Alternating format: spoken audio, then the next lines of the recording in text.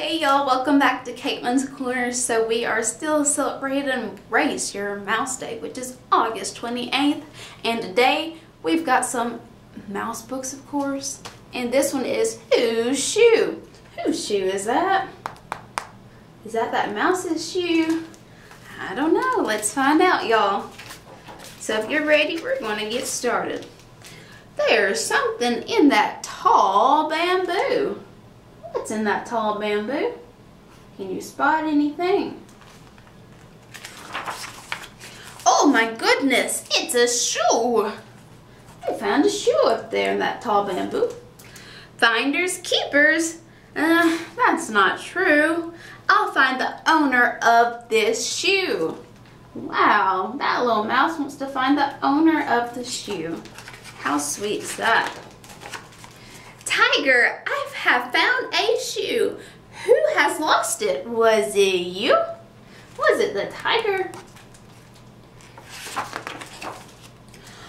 It wasn't I. As you can see, that shoe would be too small for me. My feet are dainty, but I know my claws need space if they're to grow. So Tiger said it's not his shoe. Someone's lost it, don't you see? For him, that's a catastrophe. He might still have the other shoe and be unhappy, wouldn't you? I'll try to find him. I'll pursue it. It will be good if I can do it. So Little Mouse is trying to find the owner of that shoe. Was it Tiger? No, not Tiger. Spider, Spider, I have found a shoe. I know it's way too big for you. Still, I want to be polite. I'm asking everyone in sight. I see your mother taught you well.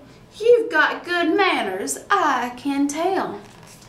So, it's not really spiders, but he's going to ask just be sure. My shoes are tiny. You're right. I always tie the laces tight. If I lost one, I'd be upset. Spider shoes are hard to get. I have eight. I take great care of all my shoes since they are rare. So Spider has all her shoes. It's not hers, is it? So we shall continue.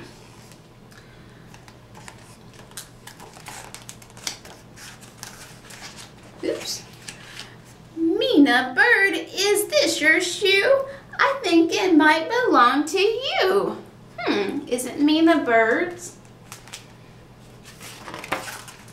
That shoe would be too big for me as I fly high from tree to tree. It might fall off on someone's head. I leave my shoes at home instead. It's very nice of you to try, but shoes are useless if you fly. So she doesn't need her shoes to fly. It's not Myna Bird's.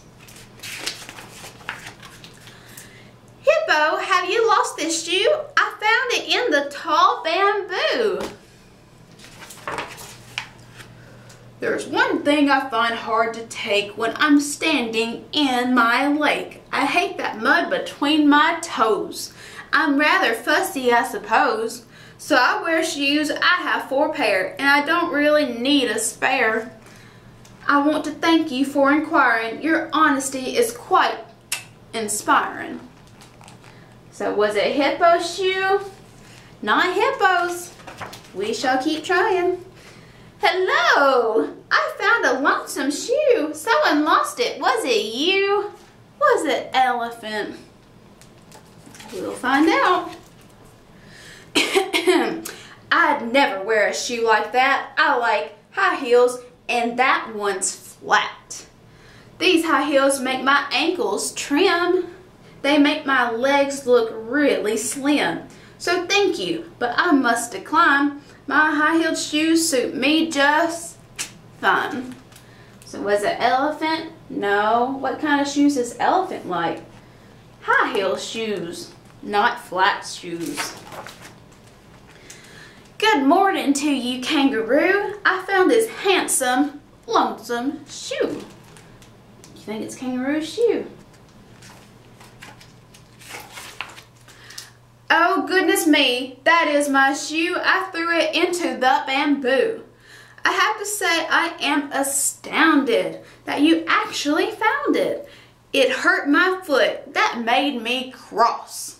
I gave the shoe a hearty toss. Would you like to have this shoe? It's not worn out. It's still brand new. So whose shoe was it? It was Kangaroo. But it hurt her feet. So that's not good, is it? So she threw it up to, into the bamboo.